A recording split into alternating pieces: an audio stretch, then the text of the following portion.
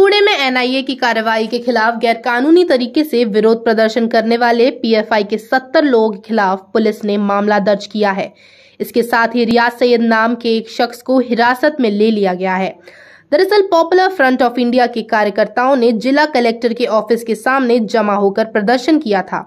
आरोप है कि इस दौरान पीएफआई के कार्यकर्ताओं ने पाकिस्तान जिंदाबाद और अल्लाह अकबर के नारे लगाए। बता दें कि पीएफआई के खिलाफ महाराष्ट्र समेत 11 राज्यों में एनआईए की पिछले तीन दिनों से चल रही कार्रवाई को ऑपरेशन ऑक्टोपस नाम दिया गया है। एनआईए इन कार्रवाइयों को ईडी एटीएस जीएसटी और पुलिस के साथ मिलकर अंजाम दे रही है।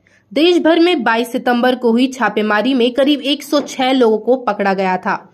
महाराष्ट्र में ही करीब 20 ठिकानों पर छापेमारी कर 20 लोगों को पकड़ा गया। फ़िलहाल पकड़े गए पीएफआई कार्यकर्ताओं से पूछताछ की जा रही है।